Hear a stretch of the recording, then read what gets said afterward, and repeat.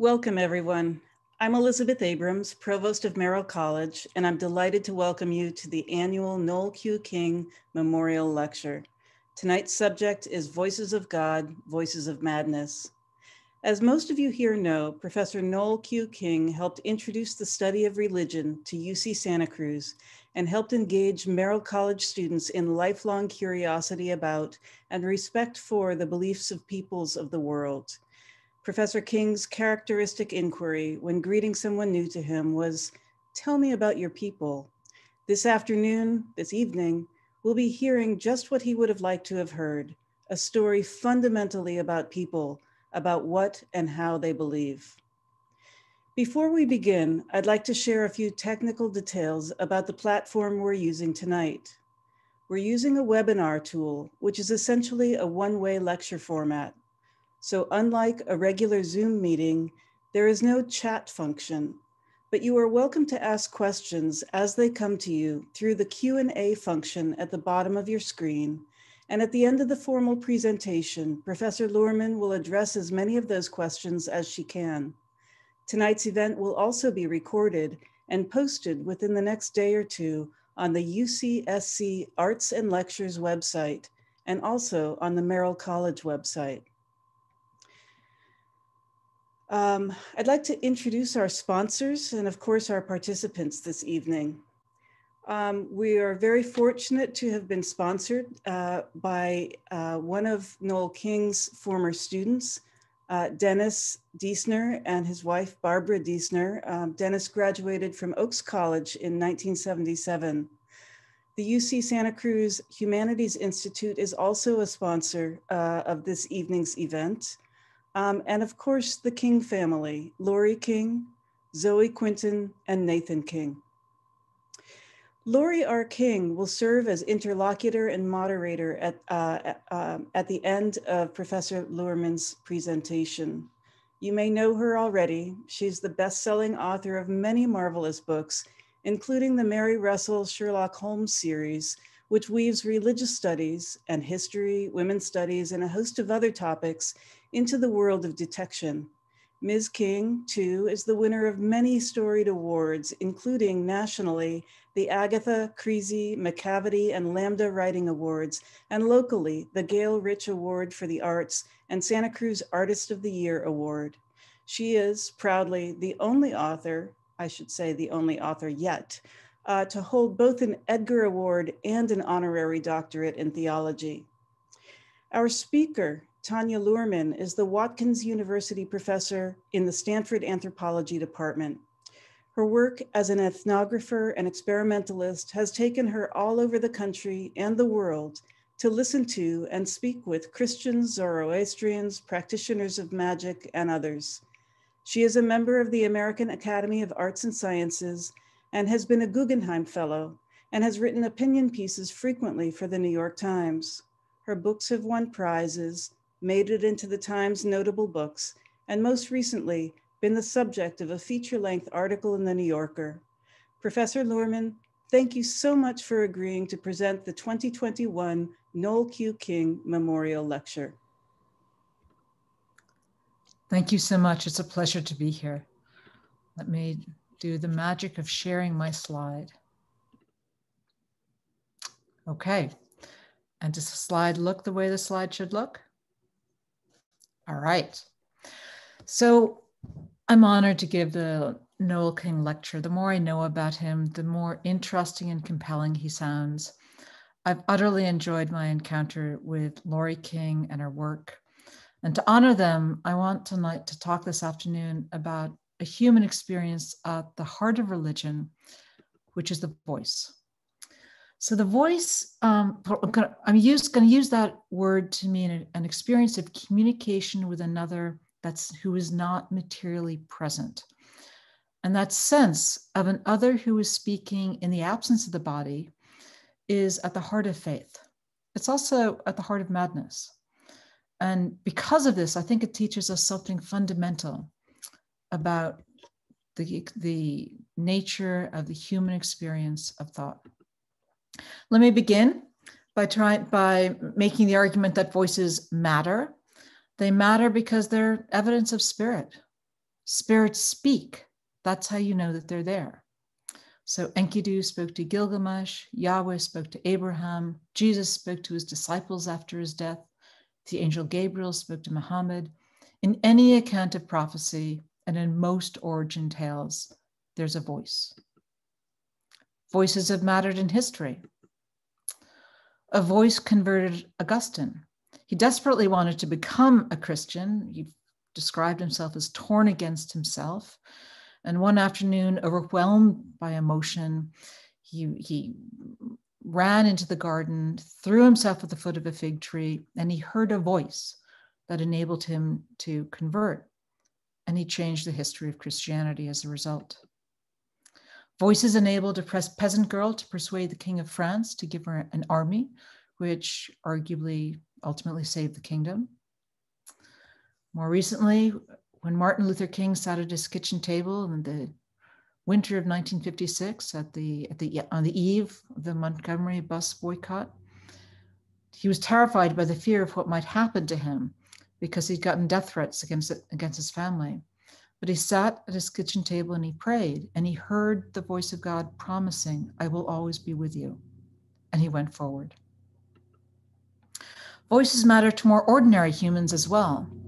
This next woman is actually um, a, a, Santa Cruz graduate. And when she left Santa Cruz, first job she got was um, the morning shift at 7 Eleven, and it did not make her happy.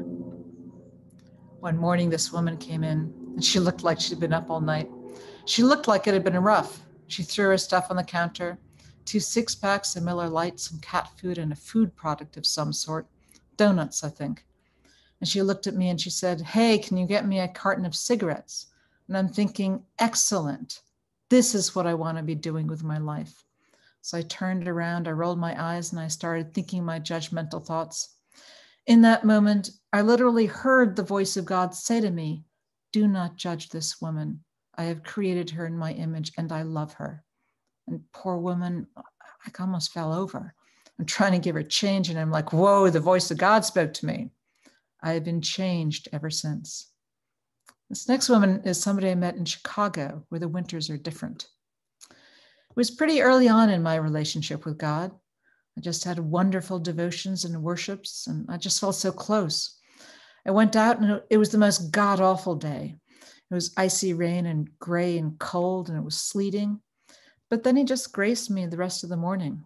The bus showed up right away, which it never does. I was reading and I missed my stop to get off, and I heard God say, Get off the bus. I looked up and I hollered, and, and the bus actually stopped. I just felt that intimacy all morning, like when you go from holding a new boyfriend's hand to kissing him goodnight. So in this case, the voice was audible. And mostly tonight, I'll be talking about these audible or quasi audible experiences when people ha- have an experience and it has kind of a hearing quality to, for them. And one of the things I want to say to begin with is that some of these experiences, sometimes God says, I will, I love you, I'll always be with you. And sometimes he says, slow down, get off the bus. Sometimes they're, these are important voices, sometimes a little less so. But the key point is that the voices, the words stand out as if they're not spoken by the person who hears them, that they, they don't feel like the thinker's thoughts. They feel as if they come from outside. How common are these experiences?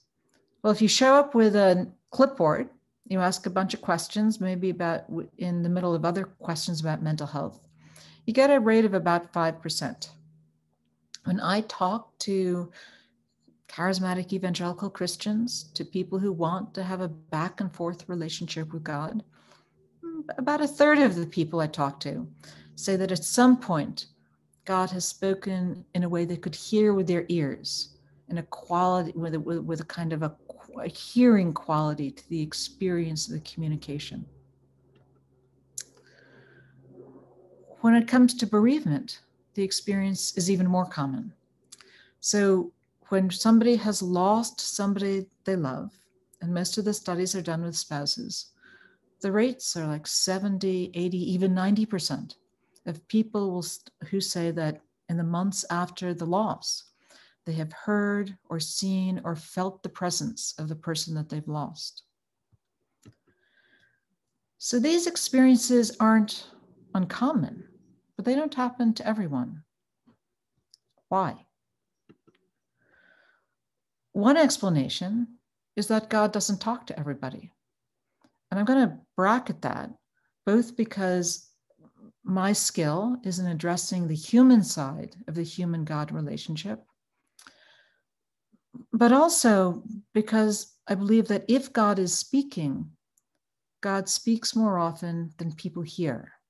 And I think that this is something, the, the question of why that happens is something to which the anthropologist uh, can contribute. Perhaps the most obvious explanation, the most natural explanation, is that people are mad, that there's sort of a continuum of psychosis. Then, by psychosis, I mean people who have markedly distorted thoughts and markedly distorted perceptions. And, you know, up at one end of the continuum are the people that we think of as flagrantly ill. And Augustine and Martin Luther King Jr. are kind of at the other end of the continuum.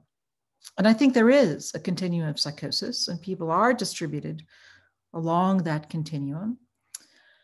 Um, but let me let me give you a feel of the experience of psychosis. And this is somebody that I met in San Mateo.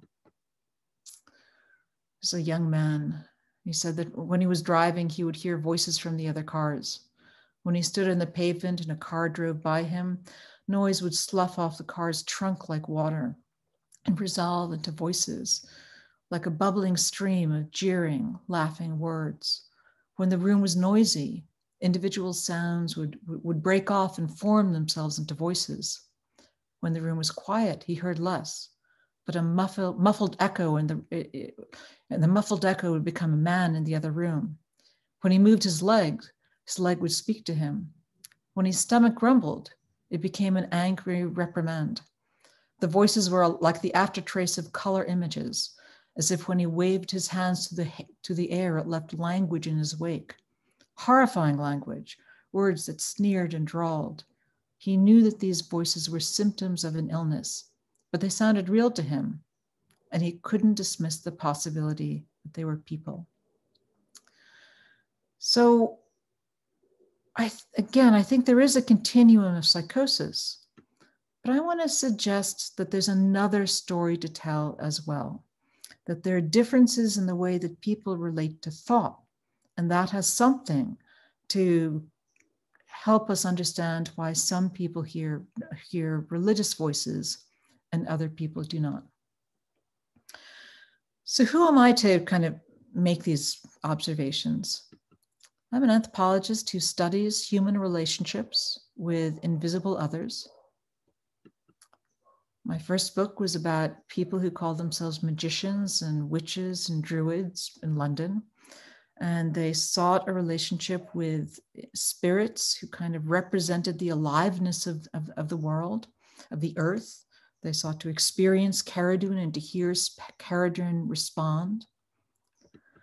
I went to what was then Bombay and tried to, and tried to understand a, a, a, group of people, Zoroastrians, who were, who were creating a, a, mystical Zoroastrianism, trying to revive this, this ancient faith. More recently, uh, I, I wrote, spent time with people who you would call charismatic evangelical Christians, Christians uh, who really wanted to feel God's presence immediately intimately, as if he is a person among people. And I've spent time with people in churches like that in Chennai, in South India, and in Accra, in Ghana, in West Africa. I also got myself initiated into an Anglo Cuban Santeria group, a group that practiced spirit possession spent a year in a in a in a church in a, with a kind of emphasis on on Black Catholics. Uh, spent another year in, in, in a shul with newly Orthodox Jews. Uh, joined for a short period of time a California cult. And I've become the kind of person that people write to and say, I have these experiences. You should interview me. And then, and then I do. I've also spent a lot of time with people who experience psychosis. So I've spent well over a thousand hours, um, many, many months on, uh, on the streets of Chicago in a neighborhood in Chicago that arguably has the highest density of persons with psychosis in the entire state of Illinois outside of the jails. Spent time with persons with psychosis in Chennai, in South India, in Accra, in Ghana. And so I want to begin by asking, what have I learned? What do I see about the experience of voices of madness and voices of spirits? I want to begin by, by saying that I see something very different. So I've spent many, many hours talking to hundreds of people about their experience of voices. And what I see is that the people who carry a diagnosis, most usually a diagnosis of schizophrenia, are most difficult of the psychotic disorders. People who are who have psychosis, when they talk about their experience, they talk about an experience, they talk about frequent, frequent voices, as if they, they're kind of living within a within a beehive of people yelling at them, talking to them, commenting on them, talking to each other. They can, this can happen throughout the day. It can be continuous. What they hear is many, many words, extended sentences. They can hear sentences, paragraphs, conversations, people constantly saying new things about their experience. And the content of those experiences is often pretty negative. Not always, but often. People will hear, You smell, you're disgusting, you, you should die, you should have jumped, you should jump in front of that bus, you should die. Terrible things. That's not what I hear from Christians with, with psychosis, without psychosis, and with other people who don't carry a psychiatric diagnosis. When they describe these voices that have a hearing quality, they're rare. So people can remember one, maybe two, maybe, maybe a handful, but they're not all the time. What they hear is brief, four to six words. Rarely, if somebody's reporting more than that, they're probably having a different kind of experience. And what they hear is startling, but it's not negative. So somebody will be, you know, a woman told me that, you know, she, she told me she's, she's, she's driving down the road and she hears God speak up from the back seat of the car saying, I love you. And, you know, it's very startling. She's heard a voice. She pulls over to the side of the car, side of the road, but then she weeps because it's so amazing. These experiences also just feel different. So, and by that, they're phenomenologically different. There's, there's something in the different quality of the way that they're felt. So, the woman that um, I, I, was pictured with, um, she said to me that I'll be watching TV and I'll be doing my artwork and I'll hear stuff. It's almost like they're using the physical properties of heat, light, and sound, and they bounce something off here, like a signal. It's not the way that Christians talk. Here's somebody who said, I, was at the grocery store and it wasn't like this audible, but I felt like God did a hiccup or something. Somebody with psychosis said to me, The voices, it's like a hostile takeover of my mind. A Christian said, well, that, that voice, it, it certainly wasn't unwelcome. It's not a sense of taking over. What I also noticed about these experiences is that they can be developed. These religious, religious experiences of voices, having the sense of communication. So when somebody goes to a church like this, and I spent a number of years in, in, in, in churches like this, um, they often arrive in this, this charismatic evangelical church and let's say, you know, God doesn't talk to me. I, I know he talks to you. Would, would you ask him something for me? But he doesn't talk to me. And I saw that people would learn to experience God communicating to them. So the first thing they had to learn is the mind isn't private, that thoughts and images and sensations that you might have understood as generated by you, your own thoughts, are actually God speaking to you. So people have to learn what I came to call a new theory of mind. That experiences you might have taken to be internal can actually be the words of somebody outside of yourself speaking into you. This is what it feels like. This is a young woman who explained to me, well, when people are were praying over me and I'm just receiving it, and all of a sudden I hear, go to Kansas, which is where her parents uh, lived at the time. Because I was debating whether to go to Kansas, but I hadn't been thinking about it within a 24 hour period. It makes you want to say, where did that come from? And so, what people at the church where I was spending time would say was that, or what I could see that they did, that they began to, you know, pay attention to that kind of stream of consciousness and to pick out thoughts according to a kind of pattern of discernment. They'd look for thoughts that were spontaneous, that popped into their mind. They'd look for thoughts that were the kinds of things that God would say. God never tells you to jump off a bridge, a pastor explained to me. They looked for, for thoughts that were sort of in accord with a kind of thing that they read about in the Bible. And so they would they would they would learn how to kind of select certain thoughts. And then what I could see over time is that they would feel more and more confident that those were the thoughts that came from God and that God spoke to them. So they would start out not knowing how to recognize God's voice. And then a few months in, they would say things like, I recognize God's voice the, the way I recognize my mom's voice on the phone. Now, these voice hearing experiences are typically not audible. People don't expect God to speak out loud to them in their minds. There are many, many books that, that, that, that teach you how to experience God's voice. And, though, and the books like Dialogue with God, um, that they'll tell you that God's voice normally th- sounds like a flow of spontaneous thoughts rather than an audible voice. And nevertheless, I could I could see that people who learned how to do this were also a little bit more likely to say that they they'd had one of those odd sensory and quasi-sensory experiences of a voice talking back. I could also see that these were associated with practice. And I, I came to talk about practice as inner sense cultivation. And this was a kind of prayer that, and by inner sense cultivation, I mean that people were using the imagination to experience what is invisible.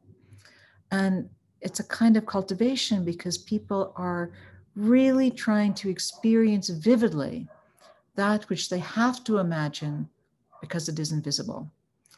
And so I would talk to, to Christians who would, you know, they would be praying and they'd be talking to God.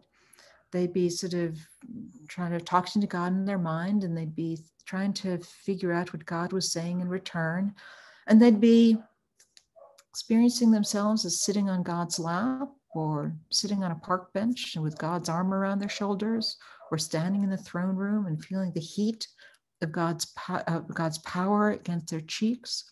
And they were trying to use all their senses to experience God's presence as vividly as they possibly could. This is a this is a long there's a long tradition of this kind of inner sense cultivation, this mental imagery cultivation in the Christian tradition. The most famous example would be the Ignatian spiritual exercises, where Ignatius wanted you to step into the scriptures and experience them as, as, as if you were there. You can also find these practices in shamanism, Buddhism, Judaism, and Islam. And one of the things I saw is that as I talked to people in, the, in this church, um, I could see that people who, who prayed in this way, trying to experience God in their mind, trying to use all of their inner senses, they would report over time that they had sharper mental images. Somebody said to me, You know, it's sometimes like PowerPoint, sometimes. It's that clear in my mind. People would say that the thing that ha- they had to imagine, God, angels, would feel more real to them. And they reported that they had more of these funny voices and visions, these sort of sensory, quasi sensory experiences of the presence of an invisible other. So I ran an experiment. I, I got a hundred people into my office, one after the other. We talked to them for a couple of hours. We gave them a set of surveys. We sat them in front of a computer screen and did a set of exercises to see how they used their mental imagery. And on their way out, they had to pick a brown envelope that had an iPod. And there were different kinds of iPods. One of them was loaded with, um, and they couldn't decide. They would should have to. They would choose. They would sort of. They were randomly assigned to to which iPod they got. One of them had these Ignatian spiritual style exercises where they were kind of invited to experience the scripture with all their inner senses and then invited to have a back and forth conversation in their minds with the uh, with God. The other iPods were loaded with lectures on the Gospels, excellent lectures. And the rule was half an hour a day for, for six days a week for four weeks. We brought them back in, we interviewed them, we uh, gave them more exercises, we had them fill out more surveys. And those in the prayer condition were more likely to report sharper mental images, more sense of God's presence, more sense of God as a person, and more voices and visions. So I want to suggest that there is something like a non mad pathway, that there's something that in which attention to inner mental events leads to those events seeming to be more external and more in the world real. And that and there's something that suggests that these voices, these religious voices, have their origin in thoughts. They might have their ultimate origin someplace someplace else, but the human dimension is that they have the, their origin in thoughts that come to be experienced vividly, intensively, and that they, as, as if they're not me, not inside, as if they as if they pop into the world and feel as if they're coming from someplace else. So now I want to um, offer some more evidence for these, um, for a non-mad pathway to the experience of voices. I want to talk about two other factors, an orientation, a person's individual sort of personality style, their orientation to ex- an experiential immersion, and a cultural model that the mind is open, porous to the world. And I find that there's a relationship with this trait and this model of the mind with these vivid, sensory like religious experiences. So for a number of years, I've been I was running something that we call the Mind and Spirit Project, which uh, was a Templeton funded large project in which we talked to people around the world. So the, the field workers are, and the postdoctoral fellows are down the side, and we've got a Santa Cruz guy in there, Josh Brahinsky. And um, so we met together as a team and we talked and we talked and we talked. And we decided that we were going to look at the way people thought about their minds and the way in which they experience spirit in different locations. We sent people to the field workers, the postdoctoral fellows, went off to the United States, to Ghana, to Thailand, to China, and to Vanuatu. And in those different places, they did the people did these these, these rich multi-hour interviews with deeply religious people. They did four, short face-to-face interviews with members of the general population. They gave surveys to undergraduates. We spent time in Christian churches, but also in the you know other local faiths. Did a ton of work. Did many and and, and we found that two factors you know, robustly predicted voices, vision, the sense of spiritual presence, and other spiritual experiences. So let me tell you a little bit about these factors. One of them is absorption. So there's an absorption scale, 34 items. You give it to somebody and they read the sentence, the statements, and they say, This is true or false for me. So sometimes I feel and experience things the way I did as a child. I can, I can be greatly moved by eloquent or poetic language. Sometimes I can change noise into music by the way that I listen to it. One of the things that I had seen in my work in the United States is that again and again and again, the more truths people wrote marked on that paper, the more likely they were to say that they'd experienced voices or visions, but also the more vivid God was for them, the more God felt like a person, the more they felt like a con- they had a conversation with God.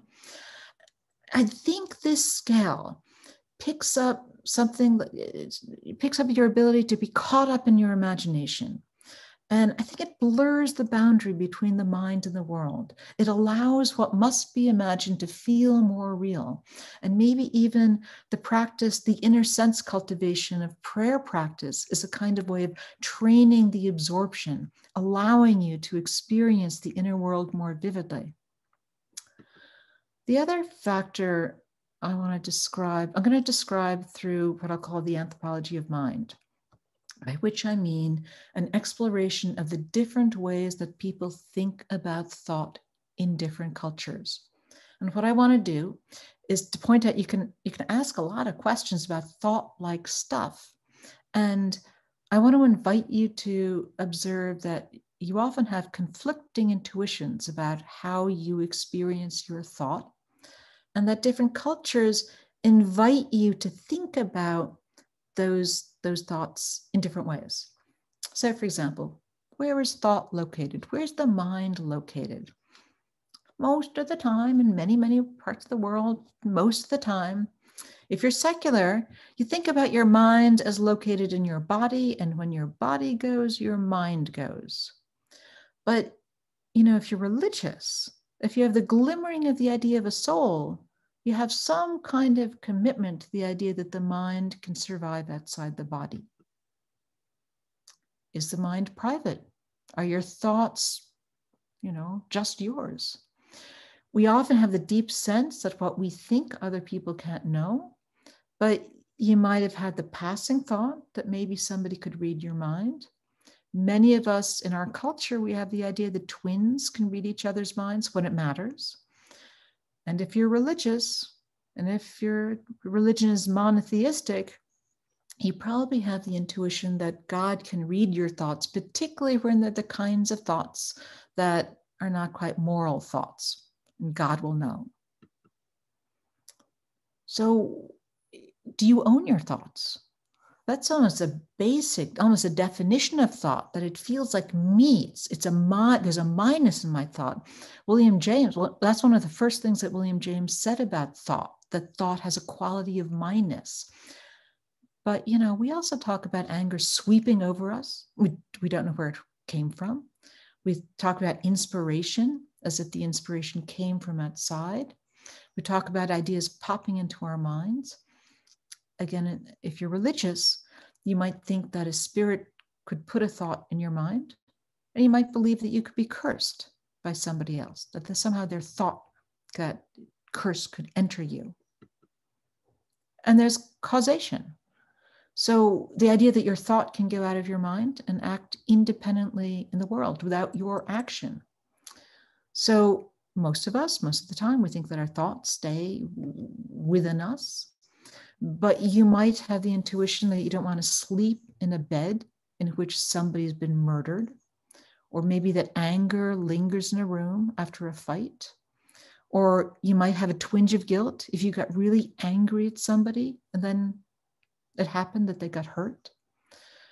When somebody's facing difficulty, we often say our thoughts are with you, even if we don't play or don't we don't pray this, this is sort of the domain of magic and witchcraft, which at the core of magic and witchcraft is this idea that intention can act upon the world directly. You might use special words, you might place the intention in a talisman, you might, you know, you might have to have a wand, but the intention really matters. Okay, so this is how I'm defining porosity the idea that there's a permeable boundary between, between the mind and the world, and that somehow thought can cross into the world, or somebody's thought can cross into your mind, independent of action. And I want to remind you that these are ideas, these are beliefs, not experiences. These are beliefs about how the mind works.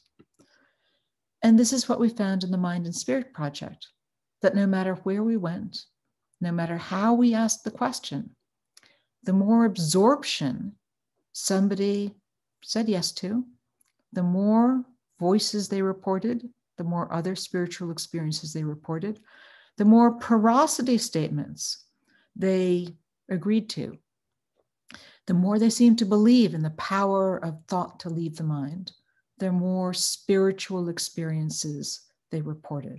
So you had these kind of beliefs, and they were connected to experiences. And so here's the paper that came out recently that presents these data, came out in a very cool place.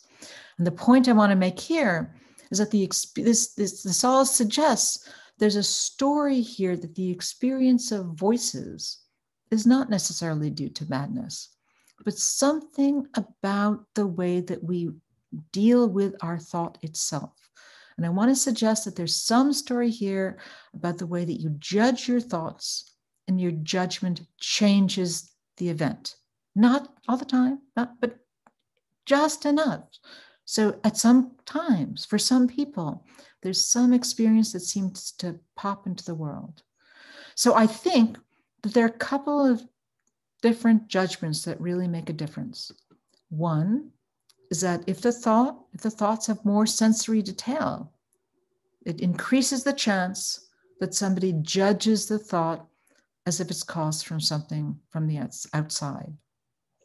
If the thought feels spontaneous, you're more likely to judge it as not being you, but having some other source.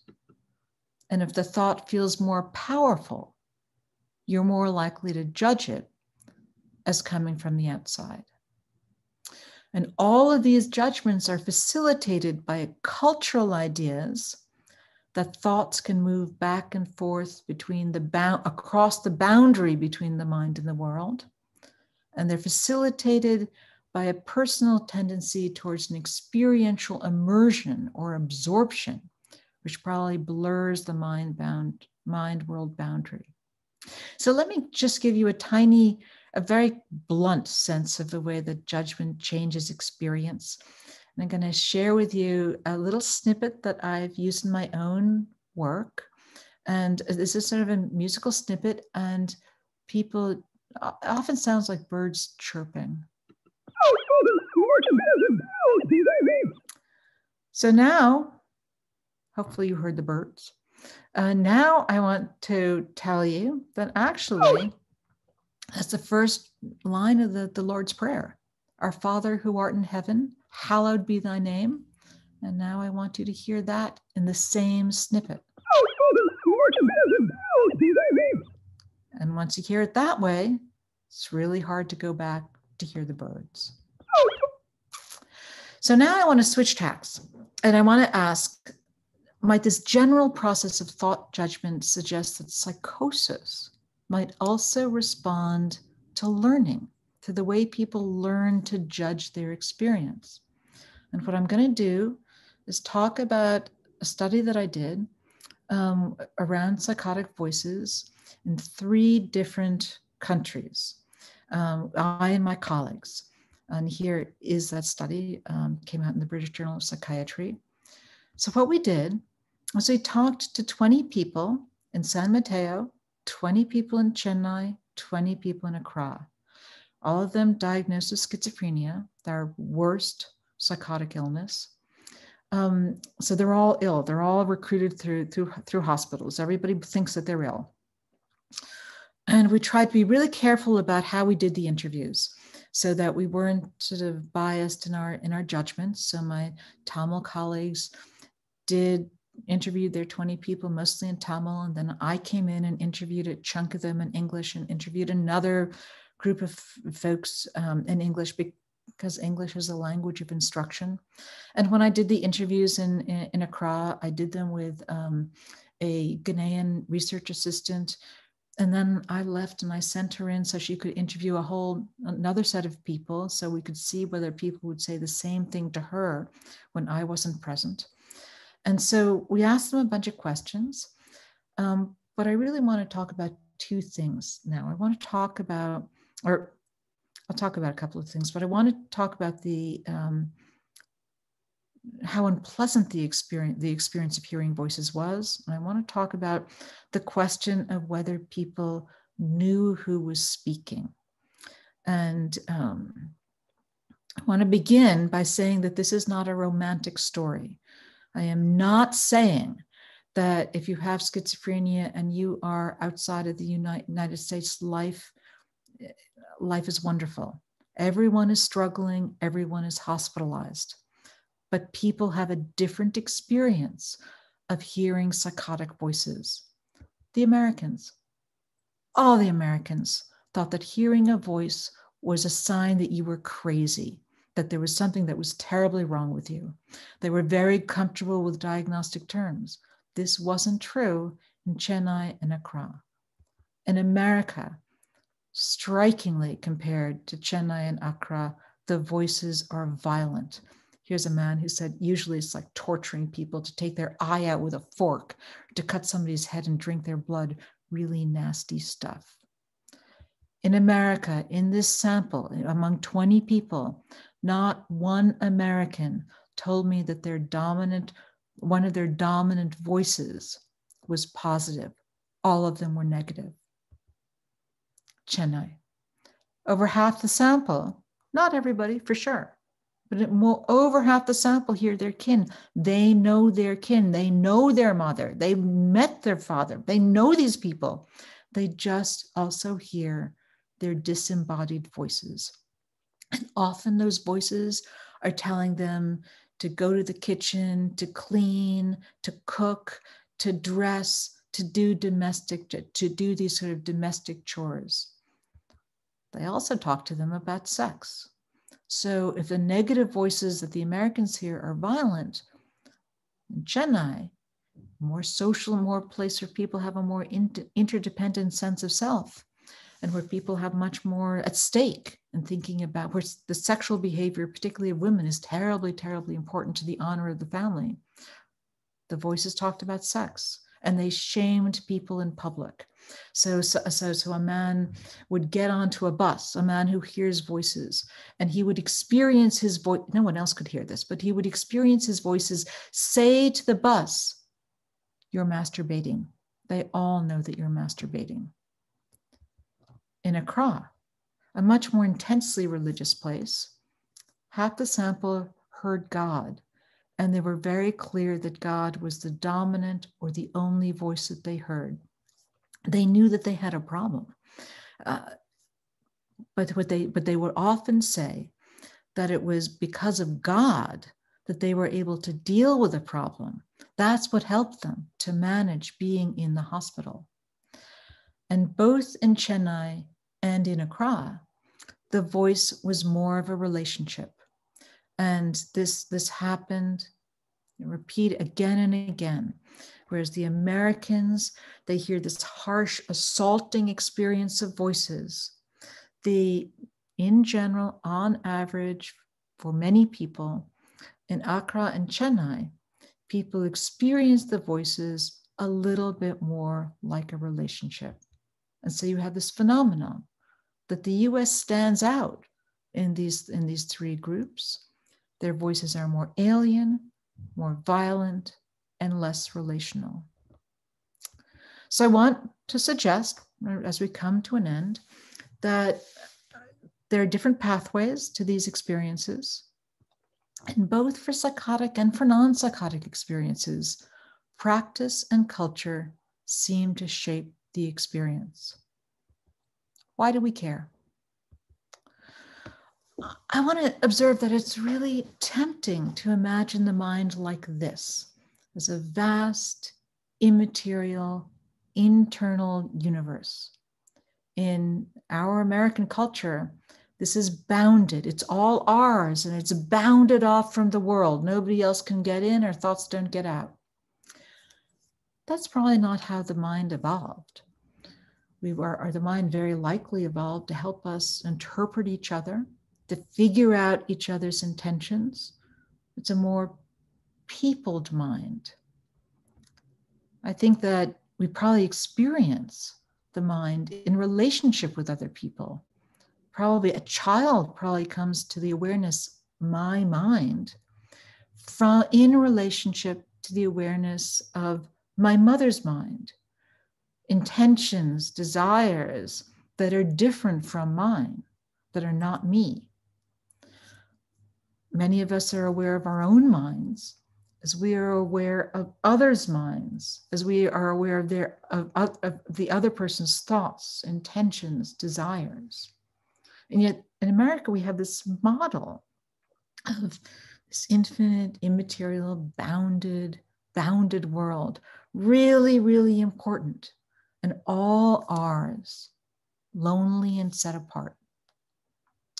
Why does this matter? Well, I think one of the things that this work finds out, or that my work uh, observes, is that Americans, compared to other societies, often have fewer spiritual experiences. It's more difficult for them to experience God in spirit intimately and vividly because it's so weird to experience others in the mind. It's your own universe. It's kind of like odd to have a spirit pop in. And so people arguably experience spirit a little bit, well, our work finds that people have fewer spiritual experiences. There's another important observation, which is that Americans and other Westerners become more distressed when they're psychotic.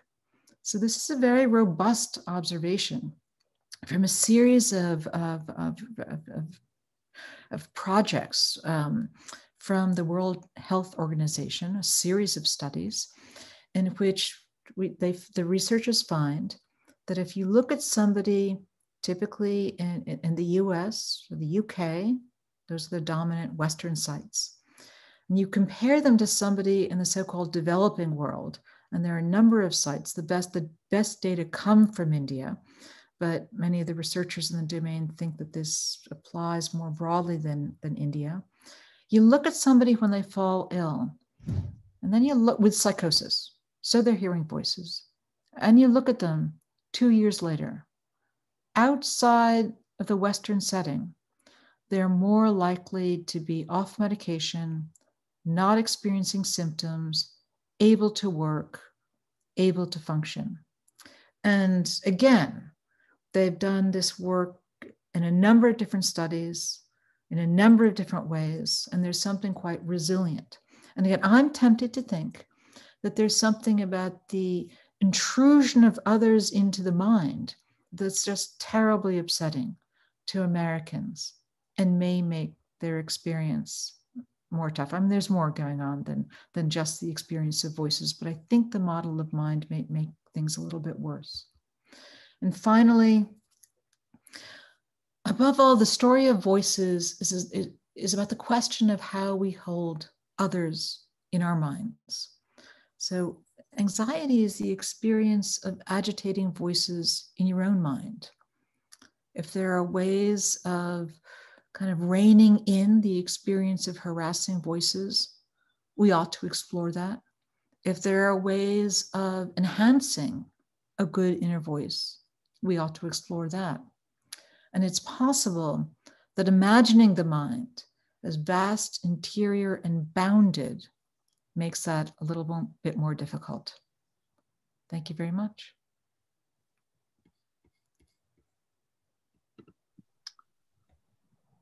Now, I am I am here and I am here to take questions.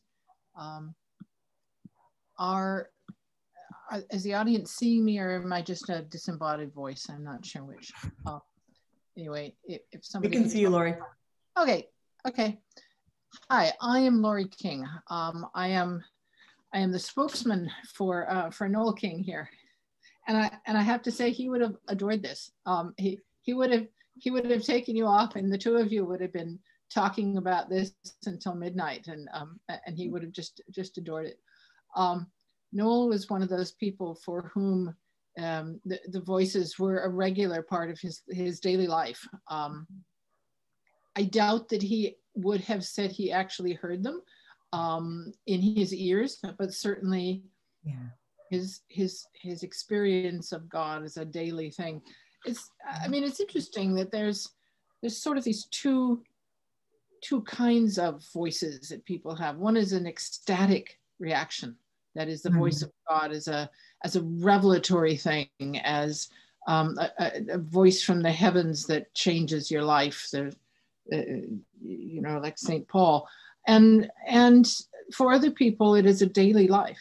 It is part of daily life, and you know Noel would occasionally um, sit down and people would assume he was asleep and occasionally he was asleep but um, he, he would also sometimes just be praying and that was part of part of his daily life um, which as you say is not a western approach to the voices in your head Yes.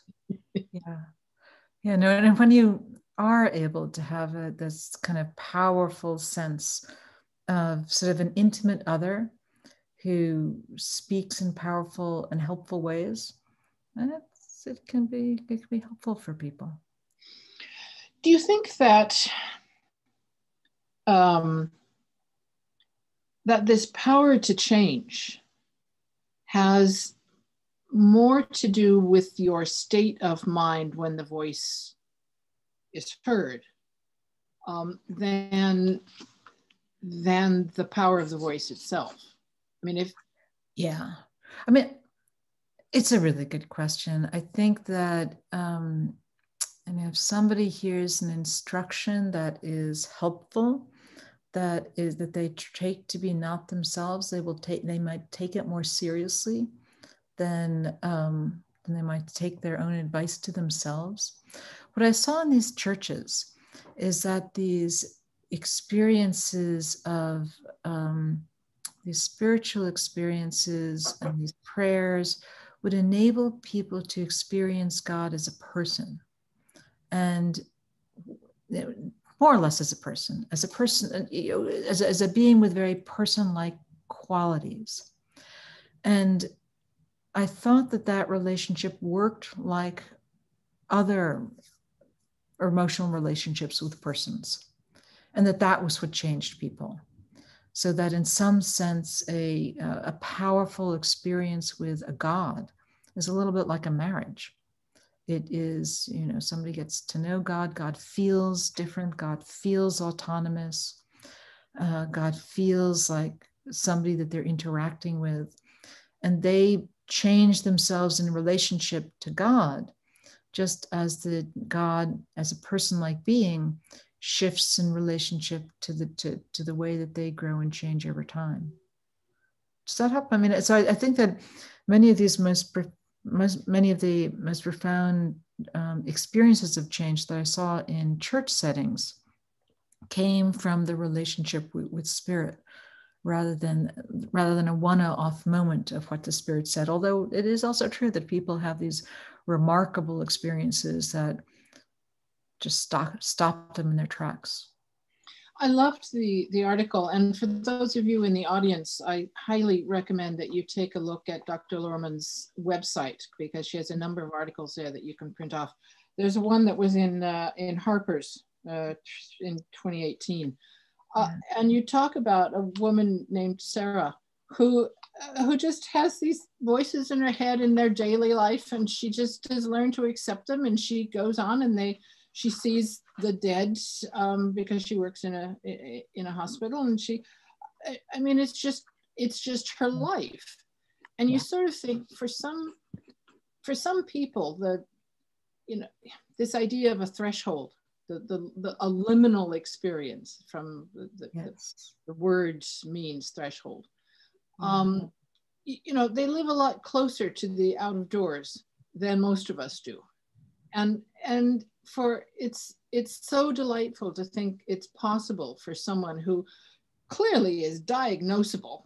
I, I mean, anyone hearing voices that consistently and that thoroughly and seeing things um, most most psychiatrists would agree that she should be under treatment but she's obviously doing just fine and i love the idea that in some situations people can yeah. I mean this this is where the idea of the continuum of, of psychosis is important because there are people who i think it's really important to hold on to the fact that there are probably people who are just going to be really really ill. But I thought that what I saw, and I, I didn't talk about this work, but I've, I've recently been trying to find more Sarahs, people who have very frequent voice hearing experiences, who look like they could meet criteria for schizophrenia, except they're doing fine. And so I've been looking at two groups of people. One of them are um, mediums. So mediums, you know, sort of more popular in the, the UK than in the US. But these are people who talk to the dead and they will you know they'll show up on a, on a stage platform or you might book an appointment with a medium if you want to talk to somebody who's died or you might go to a spiritualist church and you'll see such a person and you know they'll stand in front of the room and they'll say they kind of they'll, kind of behave differently and then they'll, they'll sort of throw their head back or something. And then they say okay i'm getting a woman in her 50s she's very elegant she's uh, she died unexpectedly. Is that does that mean anything to any of you? And then like four hands go up. And then the medium adds a few more details and then we, we settle on one hand and it's and they find out whose spirit it is and then they talk about that spirit. So i've been talking to a bunch of mediums and a lot of them are people like the christians i met in my evangelical churches they have a lot of interior experiences, and every so often they have an experience that pops out. Some of them, small handful, but some of them, more than one, um, they when they talk about their voices, they say they have a lot of audible experiences multiple times a day, that they hear negative, scritchy voices as well as good voices, that um, they have learned that when that they decided to become a medium because they were already hearing voices. And you know and then they talk about what it meant to become a medium. And they talk about all the learning they did all the ways that they spent time identifying those voices. And it looks like they for some small number of people they're able to kind of grab hold of what might be a psychotic experience and transform it Another group I've, I've spent some time with there are a group of folks in, in Ghana who are called a Komfo. And so these are people who um, practice the traditional religion, and there are many gods, and they have shrines, and they go to the shrine and they talk to the gods, and the gods talk back. And they might, you know, clients come and you know they they they'll, they'll you know they might talk. The, the clients want something from the god, and they and the Komfo will talk to the god for them, and the gods often talk to them outside of the shrine. And again, so my I so my team first was interviewing like 40 people like this. Most of them, kind of like the Christians in the church, they have interior experiences, um, and occasionally they have an exterior experience. Some of them, they were hearing voices from a young age the some of those voices that they still hear are negative. Um, the uh, and they, they they say and they talk about how important it was to get training. And a couple of them told a story about, oh, you know, my aunt came to the house and she told my mother it's my mom should take me to the hospital, but instead my mom took me for training. And at the training, my, my, my master, he told me not to pay attention to the bad voices. And he told me how to listen to the good voices. And they do that for two years and they're functioning quite effectively. So it's hard to prove that that person has changed their voice hearing experience. That's why I dwelt so much on you know trying to demonstrate that there's a change that can that can happen. Mm-hmm. It's hard to prove that that's a person who would have been more ill had they not been trying to transform their voices. But I think it's really I think that's what's going on. That some people who are vulnerable to really developing serious psychosis are able to manage their experience a little differently and sort of turn it around. Mm-hmm. Um, we have quite a few questions here, most of which we won't get to, um, but I, I, there were a few of them that I that I thought would be good. Um, one of the questions was, is one gender in the various cultures, one gender more likely than another to experience voices? Great question. Um, uh, and we haven't really looked at that. Um, in I can say two things that, that, which is that on average, women are a little bit more likely to, or they score a little bit higher in absorption than men, and women secularize more slowly. Um, but, but we haven't done we haven't actually looked at the the means for different kinds of experiences more but I, I would bet that it might be a little bit more common for women. Of thing. Um, one one question of that, that came up um, that i found interesting because of my background is can you speak about the prophets such as jonah whose experiences of voices was compelling but not exactly welcome Oh, that's such a great question. Um, well, my favorite prophets here are Samuel, John of Patmos, and Ezekiel. And I think they are having different. So I who knows what the Bible's describing, but the narrators of the Bible are describing different kinds of phenomena. So the narrator who writes about Samuel, and you remember that Samuel is um, he's a kid and he goes off to you know, live with a priest. And uh, he's trying to fall asleep, and he hears a voice saying Samuel. And he gets out of bed and he wakes up the priest, and uh, Eli maybe. And um, the priest says, "Go back to bed. I wasn't calling you." And it happens again, and it happens again, and the priest finally says, "This is God. Listen." And what, and that is a certain pattern of voice hearing. So people are a little bit more likely to have these experiences on the edge of sleep. Um, and Samuel had the had the pattern of rare and brief, rare, brief, startling, but not negative. So he um, he has these, you know, short segments in which he, he, there's an event, it feels like it's not him. And then I'm willing to say that the narrator sort of describe when God goes off and talks about a paragraph of, of information, that's really the narrator adding stuff. But there's Samuel. John of Patmos is like he's in some kind of trancy dream. So John of Patmos, first of all, he's having, you know, so the author of Revelations. So he is um, he's clearly having audible experiences because he hears a voice and he turns to look to, to see you speaking. But he has one hallucination like experience after another. He's somebody who's in this um, more trancy state, way at the end of the absorption scale. Somebody who's really getting caught up in his, in, in his inner world, I think. And it's outside of him, it feels real. And Ezekiel is clearly presented in the in, in the Bible as a vehicle for God. And, and, I want to be very clear that you know anyone can be a vehicle for God. Any of these prophets can be a vehicle for they are presented as vehicles for God. But the biblical narrator is presenting Ezekiel, in my view, as psychotic. He has a lot of experiences. Many of his voices are negative. They're very weird. They insist that he eat a scroll at one point.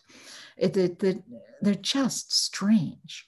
He hears his voice, he, he hears people talking, uh, invisible beings talking to each other. He doesn't want to follow the, the voice's instructions. They're full of commands. There are lots of commands. So I think, anyway, I th- so I do think that the, the biblical portrayals of the prophets portray different kinds of experiences, different pathways, if you will. Um, they show that a God could use all of those pathways. And they suggest that, um, you know, it's a complicated story between the, the, the experience and the, the, the human's willingness to respond to the experience and mm-hmm. use the experience which again goes back to the, the idea of your state of mind when you when, when you have the voices of is this ground fertile for it or is it um, is it just are you too busy and the ground is too hard and it bounces right off? Which i imagine that most people who have a voice come in and they're in the middle of something it just sort of it doesn't even register. Yeah. Yeah, yeah. i think that that's why americans have fewer of these experiences. They don't um, one of the comments, one of the, it's not, it's among the questions, but it's a comment, um, is from one of Noel's students. Um, when assessing special ed students experiencing auditory hallucinations, his first question was if the voices were friendly or hostile. And if friendly, they at worst were distractions. And if hostile, I would train the students to hum, particularly a happy tune, which transported the hostile voices, uh, transplanted the hostile voices. And they found relief by doing this so that if you can if you can drown out, drown them out some way, especially with something that is positive and other sensory. Um, yes. Yeah. Which which is kind of like a sort of self medication um, that mm-hmm. that psychotics and that schizophrenics often do. I mean, they're, they're self-medicating on various substances, but if you if you can do it with a happy song, all the better. so people who hear psychotic voices sometimes say that if they actually if they sing, it changes it. If they if they play music, it drowns out the voices. Some people, for some people, I know a woman, much to the distress of her housemates she felt that reciting the Psalms kept the voices at bay. so to, to do this most effectively, she would recite the Psalms at you know full pitch, you know, up and down the hallways, and drove people nuts. But it really helped her. Um, there's a very cool um, new kind of radical intervention called hearing voices groups.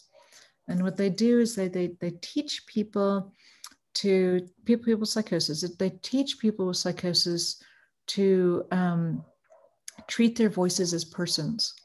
So they kind of sort of like the, the kind of the mediums, the Komfu. Um, they teach people to name their voices, to respect their voices, and then to talk with their voices. And again, it doesn't work for everybody. Um, and it seems sort of radically opposed to the American approach of kind of only treating psychosis with medication. And I have to say, I think that medication is often useful. But this behavioral approach, I think, is quite interesting. And there's some evidence that suggests that it works for some people. I did some research in um, the, the period of the late 19th century and how the mad were treated in Britain. And it was really interesting because we tend to think of the Victorian era where you would just lock people away in an asylum and lock mm-hmm. and shackle them to the walls as being particularly cruel. But in fact, in some ways, it was it, it opened a lot of doors to the talking cure, to um, giving them a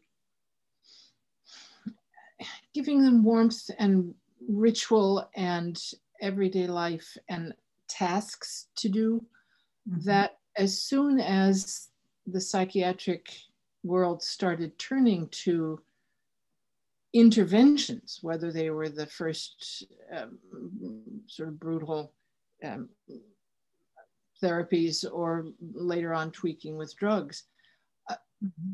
sort of got left behind. And you sort of think there are a, a lot of a lot of people who can function quite well if everyone just accepts that they're they're mad. So I mean, I think that's also part of the story that people who they think that these experiences are very very weird, they worry that they're crazy, and that you know, and, and that may make things more difficult for people. Uh, they may, may, certainly makes it more difficult to come to terms with themselves, but actually might make the voices themselves meaner because people hate them so much. You could you could see how it would. Um, a question was, and there were a couple questions that sort of overlapped with this. Um, who was more open to listening to other points of view? Those who were considered psychotic or those who have heard God's voice without getting too political, talking about that's you know and the politics of the last few years. Um, yeah, it's it's a really good question. I, it's um, um, you know, I think the challenge of psychosis when somebody's really ill is that it's the, the by the time they're in the hospital, the or they're struggling with their their experience, um, that piece of their experience is um, I don't know. I had many many good conversations with both kinds of people, um, and I think that I think that humans are cognitively very flexible. And there's certain domains of their identity or the way they are in the world. And so some people who are, um, some people can be very committed to a certain point of view and be very flexible and open about talking about other things. Um, psychosis, I think, is a difficult condition. So it's hard to have a conversation and just change somebody's experience of psychosis. Um, but people can be more or less open and talking in all kinds of ways. It, it's a very good question. Yes, yes, you sort of wonder at, at what point do we get locked into our own point of view and mm-hmm. Um, mm-hmm. one question about uh, actual possession um, yes. if you've worked with individuals who are said to be experiencing possession um, mm-hmm. which is which is sort of the extreme of hearing voices i would guess so i have uh, the those are the so the akomfu in ghana are all people who will become possessed and the um, and among the mediums, many mediums will become possessed. Whether it's exactly the same thing in different settings is a little wobblier, but in general, um, I would class the capacity to go into a trance like state in which you feel like your identity is not yours.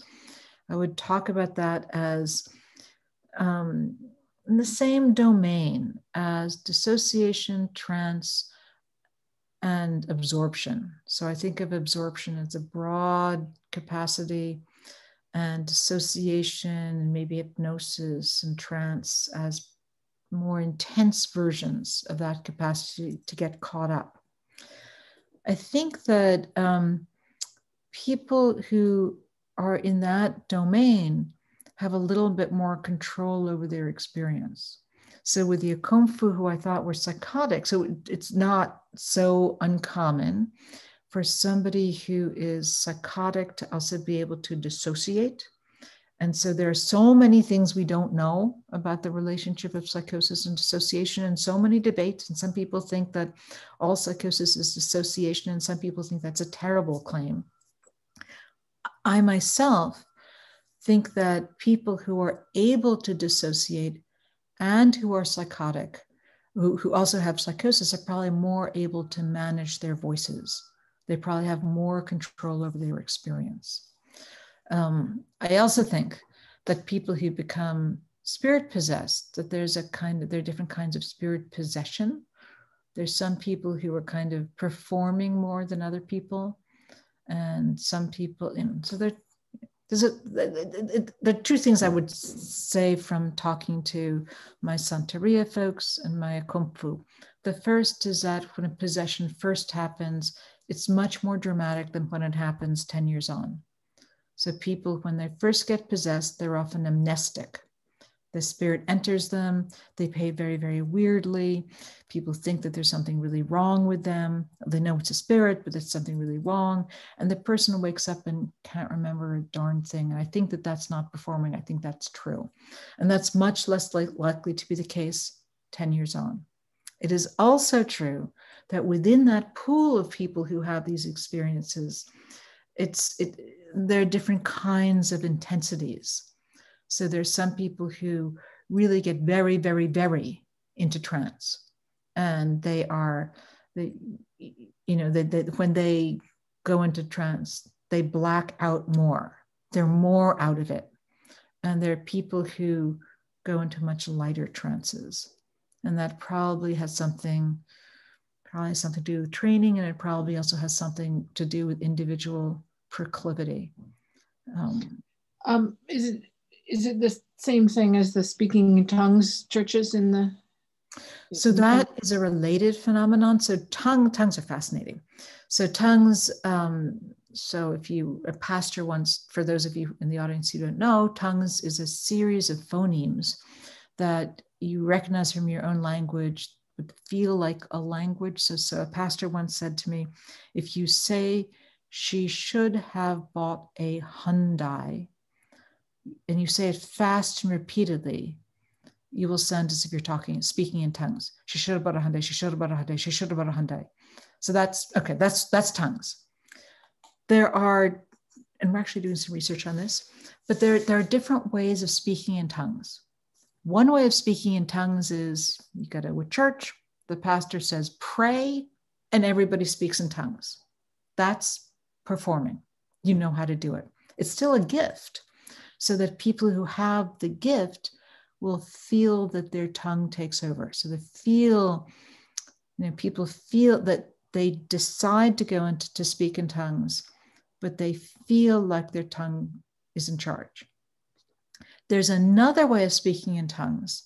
So this was really striking in um, Accra when, when people people loved speaking in tongues. So I mean, many of the Americans I knew loved speaking in tongues, but it was like like this much of the service and this much of their practice, whereas in Accra, it's like just a lot. And people would, you know, and when people get into the tongues and it feels really, really good, they also say that they feel light, they feel good, they feel like they're floating, and they feel like this will cure their cold. It feels like something that sweeps through them and it just feels good. So not all possession feels like that, but it's the same domain of human capacity. You're so somehow the person, and it's the same domain of capacity as hearing voices as well, I think. So you're somehow giving up that sense that you uh, that you are in your mind, in charge of the world, in charge of yourself. And said somehow something happens where this human phenomenon maybe you know you can have different theology theologies. Is there a spirit behind the human phenomenon? But there's some human phenomenon in which this um, what some people would call the executive function goes. And the what must be imagined feels veridically real and that's you know it happens in tongues it happens in spirit possession it happens in voices so, so here's an easy question. Yeah. Does your work suggest to you that God is a being who is outside and separate from us? Oh, you know, um, everybody wants to know the answer to that question. And I really like this uh, verse in the Bible. It says that when you know, Jesus says, when two or three of you are gathered, I, I will be among you. And you can interpret that to mean when two or three of you are gathered, that third or fourth person, that's me. I'm standing over there. I'm the supernatural person right there. And, you know, it's a, out there. You could also interpret that verse to say, well, that's the name of a good community in which we're gathered together. And I like to have that flexibility. And I just don't think that, um, anyway, I don't have an answer to that question. I I, I, I figured you probably would have thought about it. um, one of Noel's longtime friends uh, from the church down here, um, Janet, writes that um, the words that she's heard have been within her head when she's asleep or just barely awake or in prayer. And they've always been positive or instructional. And her life has been saved because of sending me to hospital or helping with diagnosis. And all of the voices have been from God, except that when my husband died, he not being much of a believer, it said, I am free, which I, I think is lovely. It is really lovely. Yeah. It's, um, it is really lovely. And one of the things that is um, very robust, you know, one of the things that these studies have found again and again and again is that um, is the presence of the departed. And, and again, you can have a pretty broad range of understanding of what that is. It is pretty clear from the research that um, some people, if they have these experiences of the departed spouse, um, are able to sort of work with those experiences so that the relationship still feels intact. So that, that was kind of the start. The first of these studies was done with Welsh widows and widows and widowers. And um, uh, 70% had had some sensory experience of the departed spouse. And a good number of them said that they, you know, not that they, not that they'd thought about remarrying, but, and they were too, they're through with all that. They said, this is sufficient for me. This relationship continues. Mm-hmm. Um, there are various there are various other questions here. I think we could be here all night. Um, one of them, let me just let me just do one or two more, and then we can just have a, a little talk. But I kind of yeah. were shooting to end at half past. Um,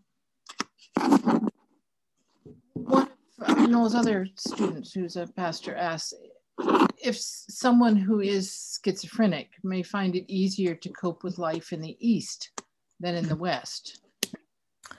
I think so. I actually think there are a number of reasons why um, schizophrenia in this country is so darn difficult. One of them is that maybe as many, certainly over a quarter, maybe as many as half of the people who end up with that diagnosis are homeless for some period of time not rocket science to observe that homelessness is terrible for somebody with schizophrenia. Um, many people in this country, um, you know, we have this model of, you know, independent persons. And, you know, so after the after early adulthood, someone with schizophrenia in this country is often alone. Like in India, they're they're staying with their family that may not be so comfortable with their family, but it's probably much better for the person. In India, when people, um, when a doctor talks to a patient in a family, they don't do diagnosis talk. I mean, they write the diagnosis on the pad of paper. And we know this. I mean, I had a student who spent a year there. This is my own experience of being. So, I, my student was in North India. I was in uh, was in Chennai and Tamil Nadu. People will write the diagnosis on a piece of paper on their notebook, but they don't do diagnosis talk. I mean, when I was in, um, when I talked to these these folks in in, in Chennai, two or three people spontaneously used a diagnostic term. All, all the Americans did, and schizophrenia is such a toxic identity. Um, and their voices are more more gentle. Um, and so, yeah, and I think it is better I, I don't think it's it's not it's not a miracle cure. It's not like you know uh, it, it's not like it's it's it's lovely for somebody in in India to have schizophrenia. It's just a little bit easier. I think it would be easier in a in a place that has a stronger sense of community in general. Mm-hmm. Community responsibility mm-hmm. rather than they ought to do something about this. Um, yeah.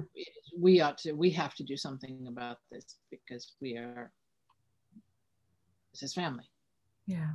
And, you know, and, and in, in this country, our identity is in our mind, which is kind of great until your mind, until you're told that your mind is broken. So one of the great books about psychiatry, about schizophrenia is called The Broken Brain, just, I mean, very, very highly capable book.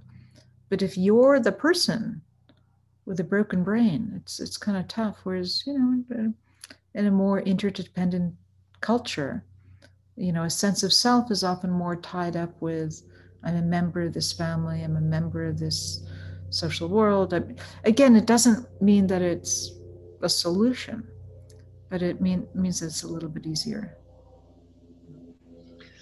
Um, what what is different about um, the, the experiences that are deliberately sought out, whether it's through intensive meditation or through the use of psychedelics to drive yourself to a state of being, whether it's hearing voices or feeling closer to the divine. What's different about the experience that you say? Oh, I mean, what's different about those when it's, how is it different when it is deliberately sought, whether through psych- psychedelic drugs or through um, intense focus on? You know, that's a really good question because they so the big bold difference is um, kind of positive and negative. I mean, and what's sort of complicated here, I should say that this is a whole sort of discussion with a bunch of colleagues about how to think about the differences between psychotic experiences and voice experiences. And that's why I perseverate on this because it's because some scholars in this area want to say that it's the same experience. It's just that those experiences are a little more negative and a little more uncontrolled. I think that it's um, the way and people have been struggling to describe psychosis accurately for 100 years, over 100 years. And I am searching for words to think about how to describe the difference in a compelling way. And what I want to say is that the feeling of realness is different. So I think humans have many kinds of realness that when, that God, even for the most committed uh, believer, uh, God is differently real than a table and a chair. Those are they, they, they treat God differently in, in a number of ways. Like, like my favorite example for this difference in realness is that Christians will tell you that God can do everything, God can do anything, God is all powerful, and they never ask God to feed the dog. So there's something constrained about the way that they treat God as real. When someone is psychotic, and I say this knowing that it's really hard to put a clear circle around psychosis, there's something much more alien and um, compelling about those experiences. So when God speaks and someone's not psychotic, even if God commands, it doesn't feel commanding. You can get, you can, you can walk away. So like one of my Christians heard God say out, you know, outside her head very clearly, start a school. And it was a very important and moving experience for her, and she never did. Many people with psychosis hear these commands all the time. And so it's something deeply interesting in the imperative quality of voices in both settings. There's something really deeply interesting in the commanding quality of these voices. I mean, the voice rarely says the sky is blue. The voice says, tells you to do something. But when um, a psychotic voice commands, even if you don't want to do it, it feels more commanding and it's hard to justify that claim because who am I to pass judgment? But it just, there's this kind of, um, clinicians, they use this, they use this term that's kind of weird. They, they talk, talk about the smell of psychosis. Or another term that's in the literature is that praecox feeling. That's um, comes from a great psychiatrist, um, uh, Emil Kraepelin, who talked about identified schizophrenia as dementia praecox. And there's some, there's this kind of weirdness feel, and there is um, when people have these experiences, voices or mystical experience or a vision, and they're not psychotic, it just doesn't feel, doesn't, when they talk about it, they don't talk about it as if it feels weird in the same way. Like, like when people, someone I know who was profiled in Harper's, you know, she said, she talks about her experience of psychosis as, oh, this was when I, I, I knew that the world was was made of paper. And you know, and she talks about sitting with her, sitting with her therapist and knowing that her therapist was dead while also talking with her. Well, you can you can identify that double bookkeeping in religion. You know, it's and people joke, Christians joke about it all the time. Like, you know, like I remember a young woman, a, a little girl who was kind of trying to get at her mother, but she wanted to swim without her little noodles. And her mother was going nuts because she would swim without her little, you know, those little, little floaty things that, you know, keep you from sinking. And the little girl said to her mom, if I went into the bottom of the pool, God would tell you. And her mother went like nuts because her mother clearly did not believe that this was going to happen. And so, you know, you can do the double bookkeeping in religion as well, but it's like there's a different um, relationship with the everyday world. Even when the person is out of their mind in a, like, you know, another person I knew, La Jolla, goes down to the ocean and he's Jewish. He's he's on the verge of becoming an Orthodox Jew. He looks out at the, the waves, and all of a sudden, he knows God. White light, the wave speaks to him. He's transported. It's fantastic. He has this kind of, you know, amazing relationship with a sandpiper on the beach. He is utterly and completely transformed, and he goes home to dinner. And it's, it's there's something and anyway, that that that's that is such a hard question because it feels very different. Yeah. It, I mean, I,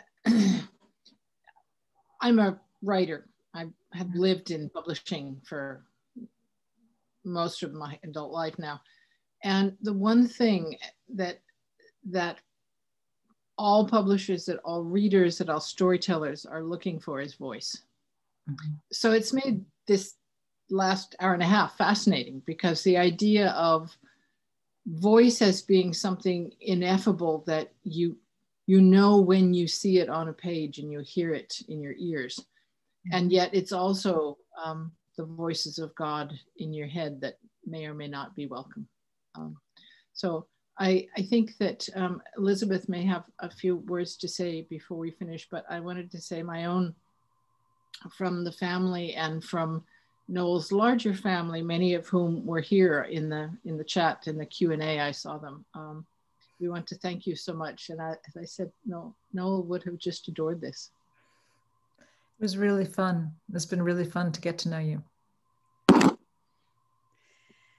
So thank you so much for joining us tonight and for speaking so eloquently about subjects that um, many of us have been thinking about for a long time. Um, and I want to thank everyone in the audience who came and joined us uh, and perhaps heard an echo of Noel King um, in Tanya Luhrmann's uh, presentation.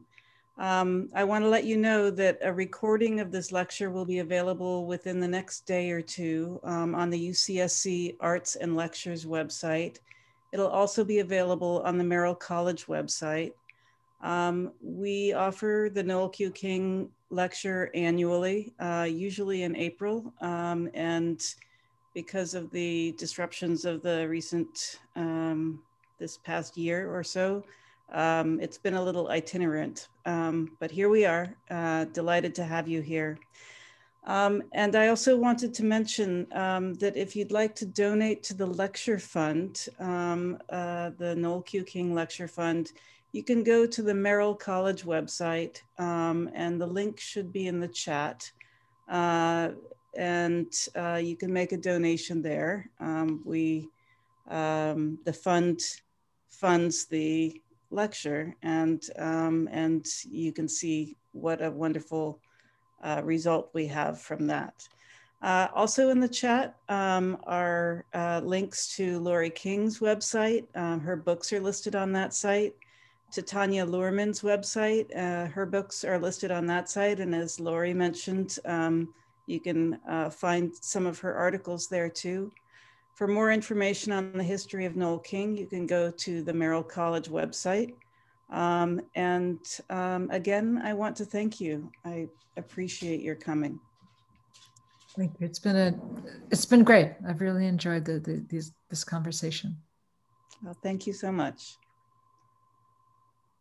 Thank you all.